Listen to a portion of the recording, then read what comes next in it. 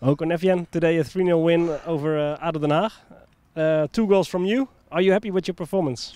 Of course, it's always nice to score two goals. You have some some balls you would like to to uh, to do something more of sometimes, but all in all, two in victory, two goals. Of course, I'm happy. But which goal did, did you like the most?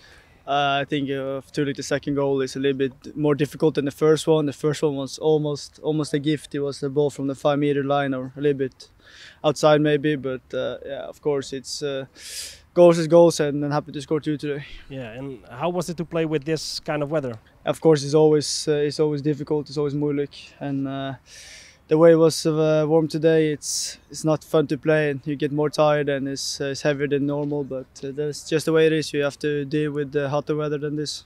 Yeah, and uh, the preseason is almost halfway now.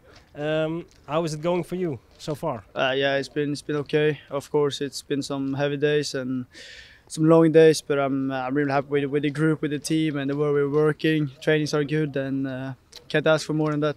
Yeah, perfect. Thanks. Thanks.